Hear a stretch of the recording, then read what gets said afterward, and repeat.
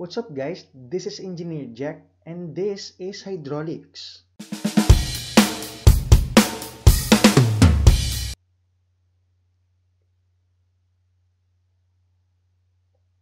So today magbibigay ako ng example problem in solving hydrostatic force on inclined plane submerged surfaces. So yung problem, basahin ko muna. The gate shown in the figure is hinged at B and rest on a smooth surface at A. So ito yung hinge and ito yung surface na smooth at A. For example, naka-side view tayo kaya ganyan yan. Yung thickness lang yung nakikita natin. And if the gate is 1.6 meter wide, perpendicular to the paper or or perpendicular sa screen nyo, find BH and BV. Kasi yung hinge natin, syempre, dalawang reaction dan, dalawang components. So, meron tayong horizontal component, which is BH, and vertical component of B na reaction is BV. So, yung hydrostatic force natin is always perpendicular sa plate natin na submerged surface in our liquid or sa gate natin. So, for example, this is a center of gravity and nakalocate dyan sa centroid of the plate. So, if this rectangular, syempre sa kalahati lang. And yung center pressure, dito nakalocate yung hydrostatic force natin, which is letter F.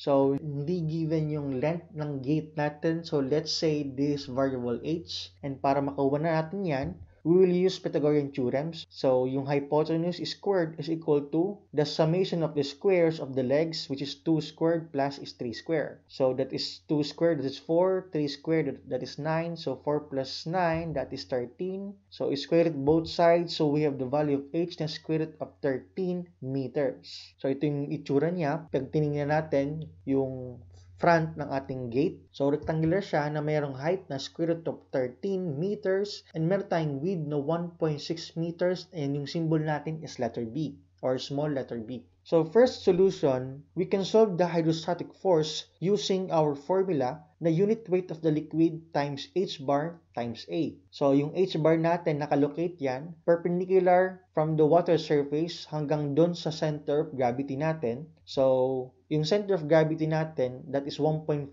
meters from B. Kasi kailangan natin itong height na vertical. So, 1.5 plus 1.3, yan yung h bar natin. So, yung h bar 1.3 plus 1.5, that is 2.8 meters. And yung unit weight of the liquid natin, that is 9.81 kilonewton per cubic meter. And yung h bar nga natin, that is 2.8. So, substitute lang.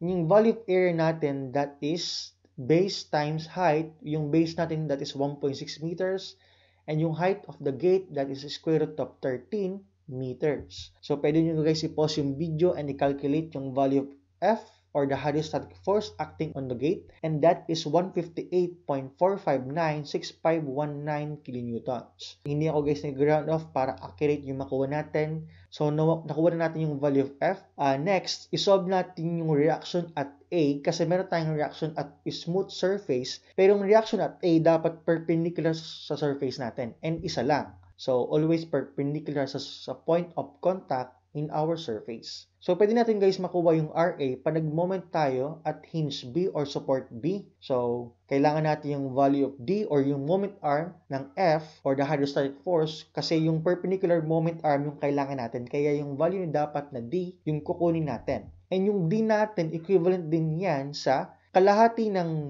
height of the gate which is the square root of 13 over 2 meters and yung distance between the center of gravity and center of pressure na letter E or that is eccentricity. So para makuha natin yung E, meron rin yung formula na ig over ay bar and yung ig this is the moment of inertia or centroidal moment of inertia. So meron tayong moment of inertia for rectangular na BH cubed over 12. All over area is BH. And yung Y bar natin, that is H bar over sine theta. So yung H bar, so magka-cancel yung B. And maiiwan is H squared sa taas. And yung denominator natin na 12 sa, sa numerator, i-bring down natin kaya h squared all over 12 times h bar over sine theta. So, substitute yung h natin that is a square root of 13 para sa gate squared all over 12 times h bar over sine theta. And yung h bar natin that is 2.8 meters from the water surface. So, nakalocate yan from center of gravity hanggang sa water surface. And yung sine theta natin or 1 over sine theta that is the reciprocal of sine theta, kaya square root of 13 over 3. Kasi yung sine theta natin is opposite over hypotenuse, kaya 3 over square root of 13. Pero since yung reciprocal yung kailangan natin, 1 over sine theta, that is square root of 13 over 3. So we have a value of E now na 0.321924221 meters. So pwede nyo guys i-pause ulit yung video and balikan kung tama ba yung pag-calculate ni Engineer Jack. So this is the value of E and we can now solve the value of D na yung moment arm of our F pag nag-moment tayo sa support B. So D is equal to E plus square root of 13 all over 2 meters and E is 0.321924221 meters plus square root of 13 all over 2 meters. So hindi ako guys nag-round off. And pwede nyo guys i-pause yung video ulit para malaman kung tama ba or accurate yung pagkakasolve ko na yung D natin that is 2.12 4699859 meters. So, pwede na tayo mag-moment or summation of moment at point B equal to 0 or equate na lang natin lahat ng clockwise moments sa lahat ng counterclockwise moments. So, mag-create ng clockwise moment about point B is yung RA times yung perpendicular moment arm niya about point B na 2 meters is equal to yung mag-create ng counterclockwise is the hydrostatic force and yung moment arm niya na perpendicular na times D. So, meron tayong value of F na na 158.4596519 kilonewtons times 2.124699859 meters and is equal to 336.6792 kilonewtons meter. So, divide both sides by 2 meters. So, we have now a value of reaction at A that is 168.3396 kilonewtons. Hindi ako guys nag-round off para makuha natin is accurate value. So, na nakuha na natin yung RA and F. Pwede natin makuha yung value of BV and BH using the equilibrium equation na summation of forces horizontal and summation of forces vertical. So, summation of force vertical equal to 0 or pwede natin equate lahat ng pataas, equate natin sa lahat ng pababa na forces. So, yung forces na yung direction is pataas is yung RA and yung BV natin is equal to, yung pababa natin is yung F natin na vertical component niya. So, if this is theta, this is theta din, and yung vertical component niya is F cosine theta. Kaya equals to F cosine theta. And yung cosine theta natin, kung titingnan natin itong bigger triangle, that is adjacent over hypotenuse. Yung adjacent natin is 2, and yung hypotenuse natin is yung length of the gate, which is square root of 13. Kaya 2 over square root of 13. So, RA plus BV equals to F times times 2 meters all over square root of 13 meters. And ilipat natin yung RA sa kabila, kaya negative RA. Then, substitute the value of F and RA. So, meron tayong F na 158.459. Uh, hindi ako guys nag-round off. So, tuloy-tuloy lang dapat itong 4596519 dito value pagka-calculate nyo. Times 2 over square root of 13 meters minus yung RA na 168.3396 kilonewtons. So, yung value na nakuha ko is negative 80.442 kilonewtons. Uh, pwede nyo guys i-check yung pagkakalculate ko. Ibig sabihin yung negative, yung assumption ko for BV is baliktad. Instead na pataas, dapat pababa or downward yung direction niya. Pag forces guys yung kinukuha natin, dapat always indicate the direction kasi this is a vector quantity. So, yung VV natin is 80.442 kilonewtons and yung direction niya is downward. Ngayon, pwede natin makuha naman yung value of BH. Pag nag-summation of force horizontal naman tayo, equate natin sa 0. Or, equate lang natin lahat ng forces na direction to the right, equate natin sa lahat ng forces na direction to the left.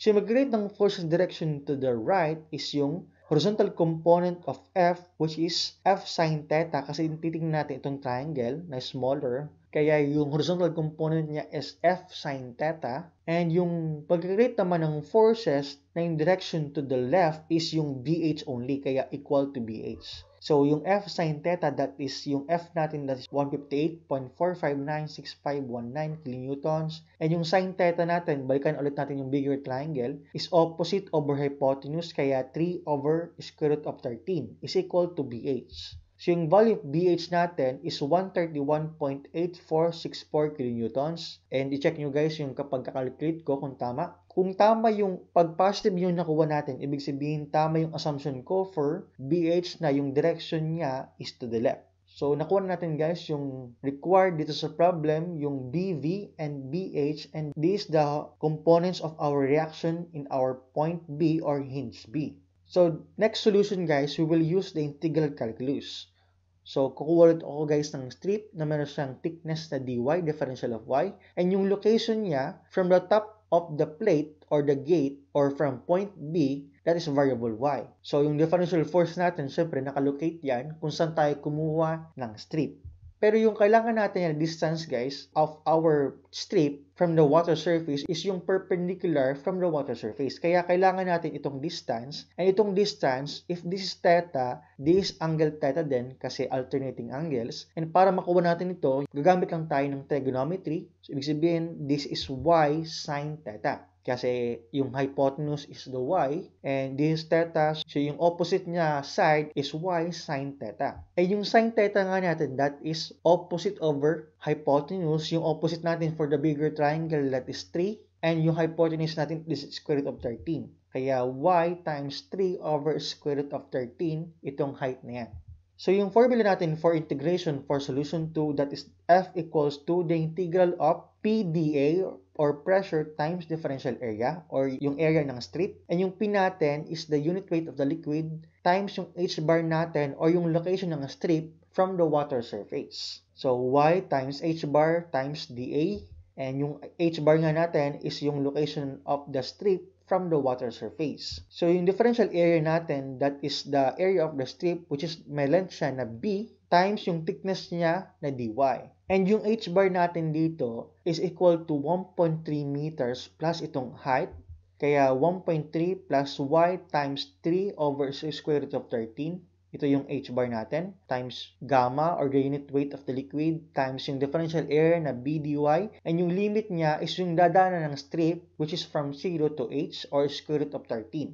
So, substitute the value. So, yung unit weight of the liquid natin, syempre, kung water, that is 9.81 kilonewton per cubic meter. And yung B natin, or yung base of the plate, which is 1.6 meters, perpendicular yan sa screen nyo. And yung limit natin is from 0 to square root of 13. And pwede nyo guys i-pause yung video and i-calculate using integral calculus sa calculators nyo. And yung value dapat same lang sa solution 1 na 158.4596519 kilonewtons yung value of F. So nakuha natin guys na same nga yung sagot sa solution 1 and solution 2 na yung F is 158.45. So ngayon, mag-solve tayo guys ng reaction at A and mag-moment ulit tayo at point B pero this time using integral calculus ulit. So summation of moment at point B equals to 0, equate natin lahat ng clockwise moment sa lahat ng counterclockwise. And yung mag-create ng clockwise moment is yung RA ulit na reaction at point A and yung perpendicular moment arm niya is 2 meters ulit. And mag-create naman ng counterclockwise moment that is F times perpendicular moment arm niya na variable y. And meron tayong value of F nga na kanina na yung value of F is the unit weight of the liquid times yung H bar which is 1.3 meters plus y times 3 over square root of 13 times yung differential area b dy and i-multiply natin itong integral equation sa variable y ulit kaya hahaba yung equation natin. So, R8 times 2 meters is equal to the integral of this gamma times y times yung h bar na 1.3 plus y times 3 over square root of 13 times b dy which is the area or differential area. And substitute ulit. So, hindi ko na guys nilagay yung unit. So, 9.81 times y times h bar niya times yung b natin that is 1.6. And yung limit ulit is same pa din na 0 to square root of 13. So, yung value niya is same pa din na 336.6792 kilonewton meter. And pwede nyo guys i-pause yung video and i-check kung pareho nga ba and divide both sides by 2. So, babalik pa din tayo sa value of RA na 168.3396 kN.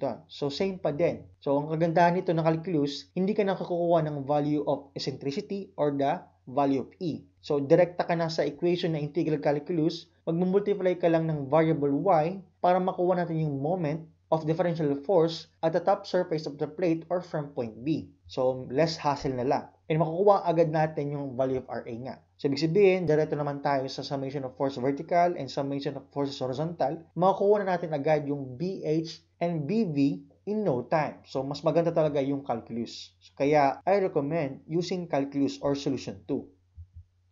So that's it. Thank you very much. Have a good day.